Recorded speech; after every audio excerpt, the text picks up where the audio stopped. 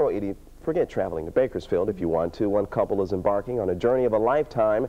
Channel 3's Deirdre Fitzpatrick went up 1,200 feet to get the story of their airborne engagement.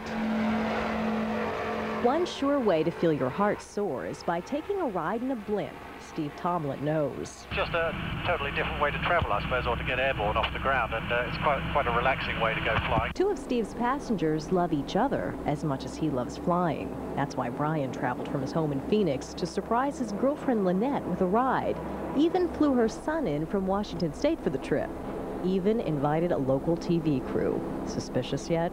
He even brought a poem along. And that's when this Shakespeare in Love asked his Juliet a question.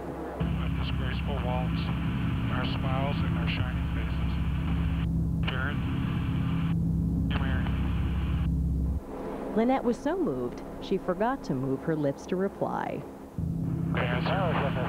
And then this couple that fits so well together tried out a ring that didn't quite fit. Meanwhile, Captain Steve looked on. He's flown this mission before. Uh, congratulations, folks. Thank you very much. This took Brian about three weeks to pull together, and it seems like everybody was in the know. Lanette's family knew, the people on the ground knew, Steve the pilot knew, everyone knew, except Lanette. People I sat with next on the airplane flying up here knew it. I said, hey, hey, check out Lanette. She's the one I'm going to propose to. What would happen if someone said no when they were in your blimp? I don't know, you have to get back to the airfield pretty quick, I guess.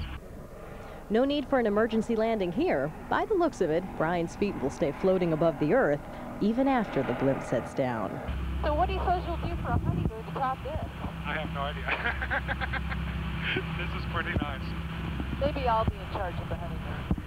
Somewhere over Sacramento, Deirdre Fitzpatrick, Channel 3 reports. And I'm sure they're both still flying high. Brian and Lanette plan to get married in about a year. Lanette says she'll fly back to Phoenix to visit Brian, but probably not in a blimp.